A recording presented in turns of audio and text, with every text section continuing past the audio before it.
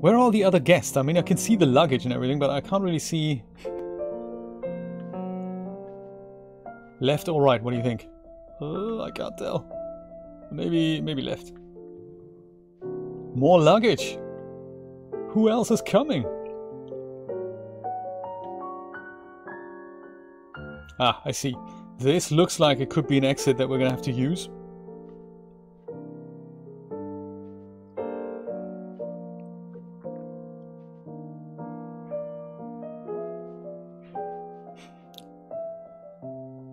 I remember this. This is crazy.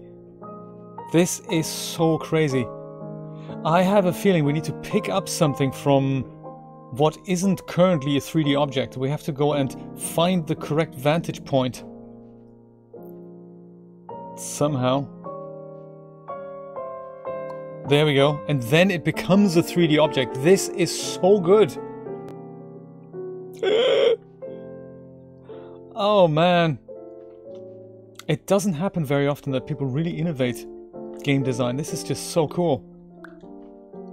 Alrighty. Is this the thing we may use as an exit thing here, maybe? Kind of like this, maybe? Yes, look at that!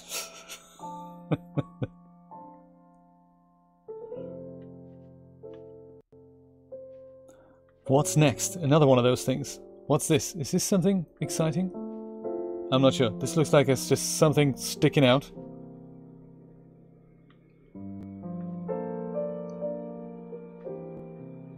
Oh, another one of these things.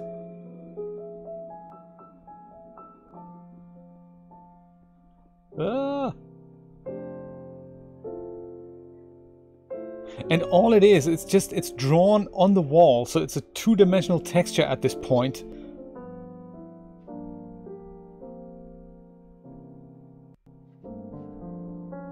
Still looks like there's something missing. That we're not looking through. Something like... I don't really know. Maybe we need to put it in place? Could that be?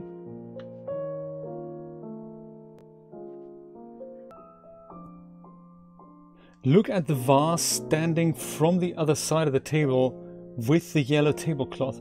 The like this vase here. This vase. Oh! Oh, right, right. Uh, like that. Somehow. Ah, there we go.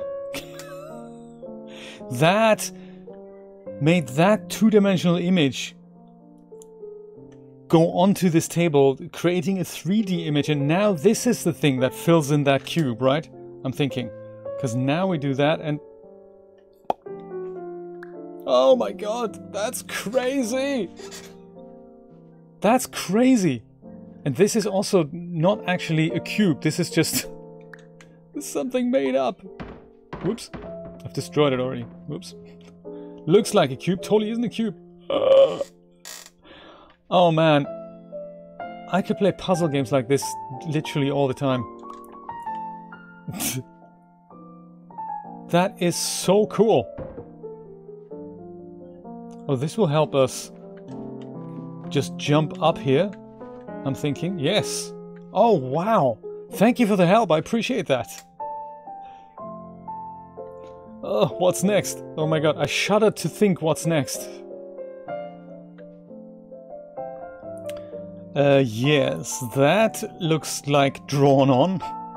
Who works these puzzles out? That's the other thing I want to know. Who does that?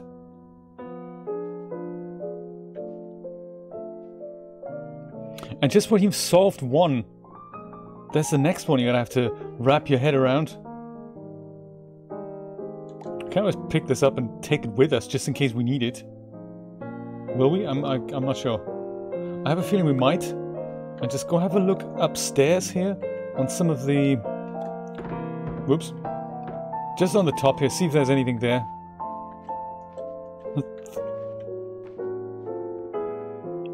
Exit. What skewed perspective might this suggest? Nah, there's nothing here. yes, me too. I wonder if we're going to find out. I mean, I've not really researched much of the behind the scenes stuff. Because everyone who develops puzzle games, including David Board, uh, who is making Lifeless Moon right now, they always say, you know what, it's perception is reality. That's not what they say, but they always say designing good puzzles is literally the hardest thing to do.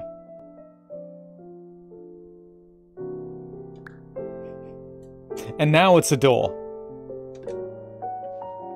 That is unbelievable. And now it's a door. That was not there before, quite clearly. Mind blown!